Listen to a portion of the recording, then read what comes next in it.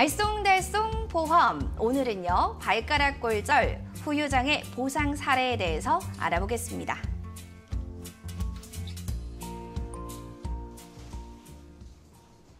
네, 오늘의 첫 번째 사례 발가락 골절로 인해서 후유 장애를 가져셨던 분의 사례가 나왔습니다. 황금희 선생님 이에 대해서 또 해주실 말씀이 있다고요.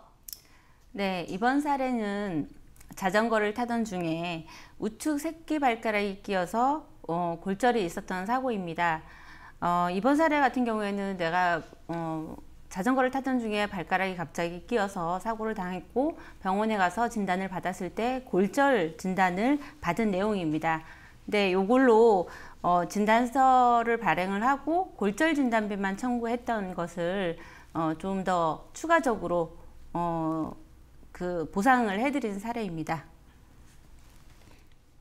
네, 골절 정말 아프셨을 것 같습니다. 후유장애가 좀 남아있다라고 하셨는데 보험에서 어느 정도 보상이 좀 되는지 궁금합니다. 특히 뭐 골절이라는 부분들은 많은 분들이 한 번씩은 겪어보셨을 것 같거든요.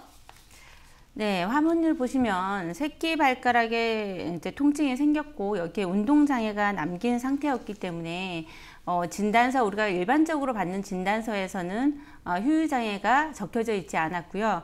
추가 자, 추가적인 휴유장애 진단서를 발급을 받았을 때 어, 평가를 하게 됐죠. 의사가. 그래서 발가락에 뚜렷한 장애를 남긴 것으로 판단이 됐고 어, 휴유장애 퍼센트는 3% 영구장애로 남아 있었기 때문에 아, 휴유장애 1억을 가입하셨으면 3%인 3천만 원을 보상받은 사례라고 볼 수 있습니다. 그래서 휴유장애 금액이 얼마를 가입하였냐에 따라서 내가 발가락 하나에 어, 휴유장애가 발생했을 때 이렇게 3천만 원까지 받을 수 있는 사례였습니다. 음, 알겠습니다. 후유장애 보험금에 얼마나 좀 가입이 되어 있느냐에 따라서 저희가 받을 수 있는 금액도 달라지는 것 같네요. 두 번째 사례, 그럼 또 확인을 해볼까요? 자, 두 번째입니다. 디스크 후유장애 보상 사례에 대해서 알아보겠습니다. 맞습니다. 요즘 현대인들 목 디스크, 허리 디스크, 또 많은 분들이 좀 앓고 있는 질병 중에 하나일 텐데요. 일단 박지훈 선생님, 디스크 보상 사례에 대해서 알려주신다고요? 네, 디스크 보상 사례에 대해서 말씀드리겠습니다.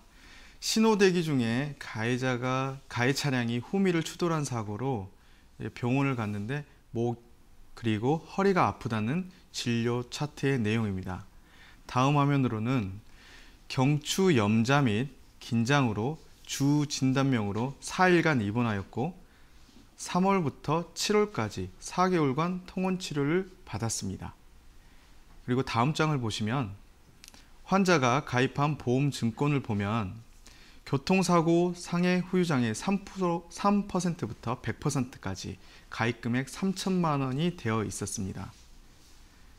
네, 다음 장을 보시면 보험 약관에 장애 분류표가 있습니다. 살펴, 살펴보면은 척추 장애 중에 약간의 추간판 탈출 중에 해당하는 것으로 보았고 그리고 다음 장을 보시면 장애 판정 기준에 나와 있는 사고와의 관여도를 적용하여야 한다라고 판단했습니다. 그리고 다음 장을 보시면요. 이제 상해 장애 후유 아 후유 상해 진단서를 보시면은 약간의 추간판 탈출증에 해당하고 영구 장애를 판단되며 사고 기여도 50%라는 서류를 발급받아 보험금을 청구하였습니다. 가입 금액이 3천만 원의 10%인 300만 원 중 아까 사고 기여도 50%를 추가로 적용하여 최종 150만 원을 지급받을 수 있었던 사건이었습니다. 상해 후유장애 보험으로 보험 가입 금액이 많지 않아서 좀 아쉬움이 남는 사건이었습니다. 네, 알겠습니다. 상해 후유장애 보험의 보험 가입 금액 많지 않아서 좀 아쉬웠다라는 또 한 줄 평도 남겨주셨는데요. 자, 지금까지 후유장애와 관련된 보상 사례들 하나씩 점검을 해봤습니다.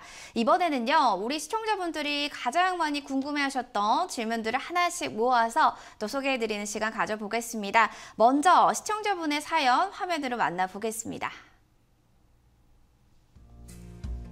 안녕하세요. 저는요, 아이가 강아지와 놀다가 손가락을 좀 물렸습니다. 응급실에서 치료를 받고 파상품 주사를 좀 맞았는데 손가락 신경에도 이상이 생긴 상태인 것 같습니다. 저 이거 보상 가능할까요?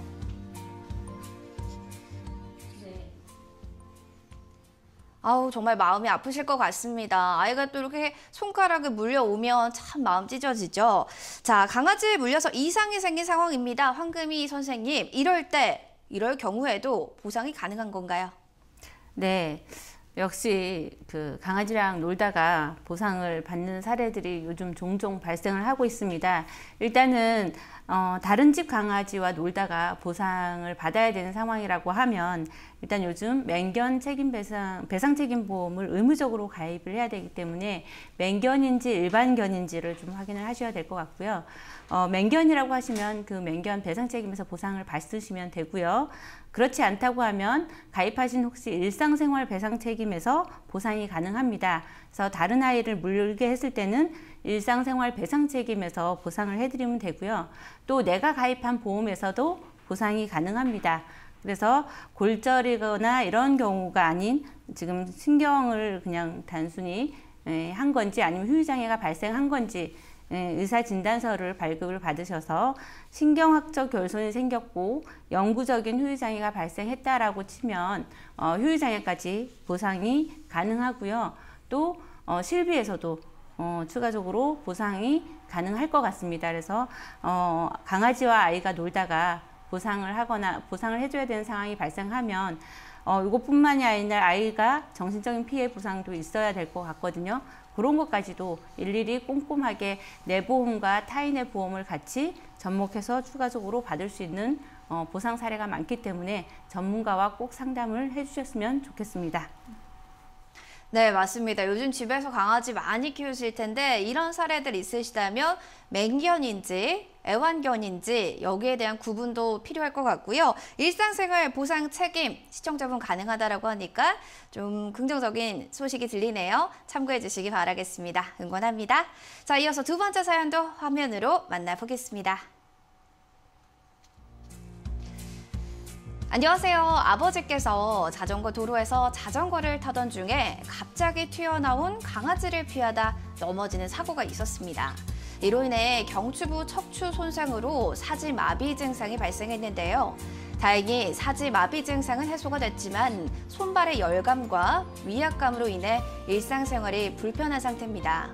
이거 어떻게 보상을 받을 수 있을까요?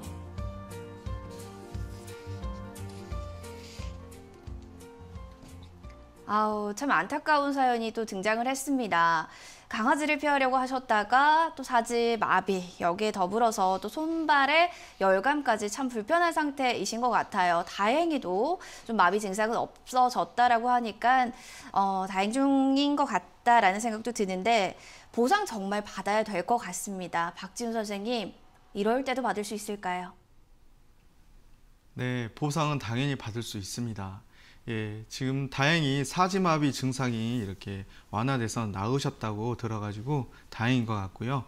자전거 우선 이제 사고 이제 보상을 받기 위해서는 이제 사고 내용에 대해서 보다 이렇게 어, 확인하는 그런 절차가 좀 필요할 것 같습니다. 지금 자전거를 정상적으로 타고 가다가 갑자기 튀어나온 자전거 때문에 사고가 발생했는지 사고 내용이 확인되어야 할 것 같고요. 사고 내용에 대해서 당사자의, 당사자 간에 분쟁이 있으면 CCTV나 목격자의 진술 그리고 뭐 어떤 경찰서에 신고를 하셔서 사고 내용을 확정 짓던 이런 객관적인 자료를 확보하셔야지 나중에 분쟁이 되지 않을 것 같습니다. 그리고 지금은 아직 이제 치료 중이신 것 같은데요. 지금 아버님의 이제 치료 중에 따라서 이제 경과된 이후에 이 증상에 따라서 음, 후유증이 있는지 없는지 확인을 하고 후유증 증상 그리고 이런 뭐 중간에 경과 관찰하는 중간에 어떤 증상들을 진료 차트에 꼭 기재하셔야 될 것 같습니다. 그래서 이 사고 내용과 피해 사항들이 정리가 다 되면 그때 보상을 청구하실 수 있습니다. 누구한테 청구하는지가 이제 궁금하실 건데 아까 강아지가 갑자기 튀어나왔는데 이 강아지의 주인이 있을 겁니다. 그러면 이 강아지의 주인한테 어, 손해배상을 청구할 수 있고 강아지 주인이 아까 뭐 일상생활 배상 책임 보험이라든지 배상 책임 보험을 드러났다면 그쪽으로 청구할 수 있습니다. 그래서 손해배상을 청구할 때는 나의 손해액을 입증하는 자료를 충분히 수집해서 제 보험회사에 제출해 손해배상금을 받으시면 될 것 같습니다. 강아지가 이제 주인 강아지 주인이 법적으로 이렇게 책임을 지는 이유는 민법상의 제 759조 동물 점유자의 책임 때문인데요. 이 내용을 보면 동물 점유자는 그 동물의 그 동물이 타인에게 타인에게 가한 손해를 배상할 책임이 있다라는 겁니다. 이 이유 때문에 가해자의 강아지 주인한테 배상을 청구할 수 있는 겁니다. 알겠습니다. 일단 사고가 나시면 사고의 경위 파악을 중요하게 생각하셔서 꼼꼼하게 적으시고요. 그리고 내가 근거가 될 만한 자료들을 확보를 많이 해놓는 게 유리하다라고 합니다. 특히나 강아지의 주인 분에게 이걸 청구할 수 있다라고 하니까 어디다가 내가 이걸 보상을 받냐라고 하시는 분들은 청구 대상까지도 확보를 해서 그분의 번호까지 좀 알아놓으시는 게 중요할 것 같네요. 여기까지 사연자분의 또 사례를 들어봤고요. 이어서 세 번째 시청자분의 고민 사연도 만나보겠습니다. 안녕하세요. 아파트 단지에서 배달 오토바이와 부딪히는 사고를 당했습니다. 다리 골절로 깁스를 한 상태고요. 얼굴에 심한 흉터가 생겼습니다. 아, 저 보상은 어떤 식으로 받을 수 있을까요? 궁금합니다.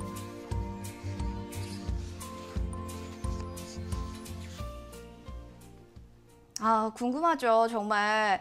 요즘에 배달하시는 분들, 그리고 어플을 써서 코로나 때문에 집에서 배달 음식 시켜 드시는 분들이 참 많다 보니까 아파트 단지 내에서도 크고 작은 사례들의 이 사고가 많이 발생하더라고요.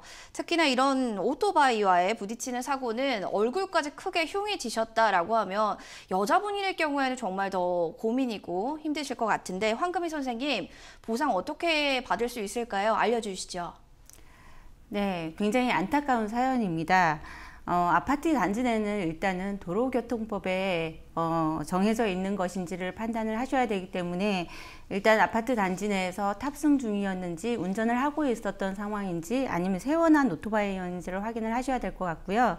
어, 부딪힌 사고로 해서 얼굴 흉터까지 예, 또 생겼기 때문에 충분히 보상을 받을 수 있는 방법들은 있을 겁니다. 근데 대신 어, 상대방의 보험과 나의 보험을 정확하게 판단하시는 게 우선일 것 같습니다.